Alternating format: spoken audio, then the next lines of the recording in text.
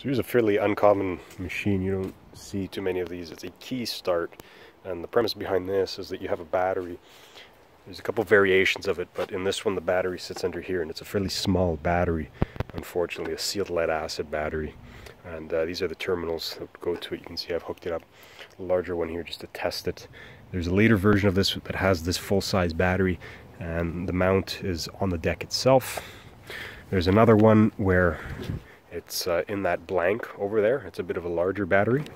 And then the latest iteration of this uses a regular tool battery, a, um, a lithium ion craftsman battery, you know, for cordless drills and whatnot. And that just slides on there. It's probably the, the best system for that because these batteries, or rather the starter, which you can see is mounted on the side of the engine here.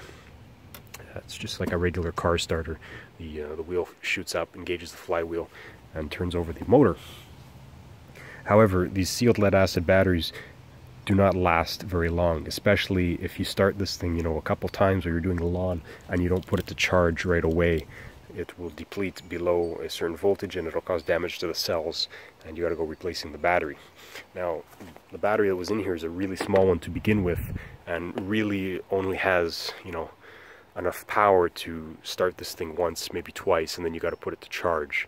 And um, they, they just don't last very long. But anyways, I'll show you how it works. It's quite nice. It works very well. You pull down the, uh, the bail brake and then you just turn this key here and it should start.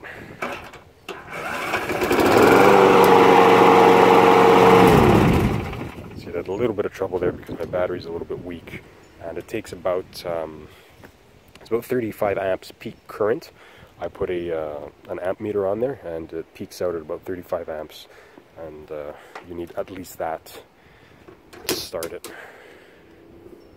and start it again.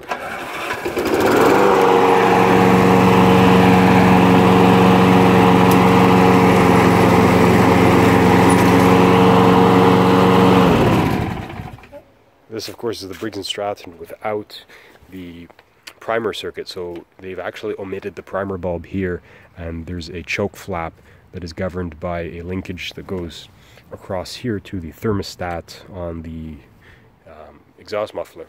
So what happens is when the motor's cold, that choke is closed, and when you go to turn the engine over, it's sucking fuel through the emulsion tube, and then as the exhaust heats up, the thermostat opens this one is self-propelled, it's a front-wheel drive. Um, the wheels were totally stripped out because it's a plastic gear, and I just put on uh, some random ones I had just to get it going here before I order the correct wheels for it.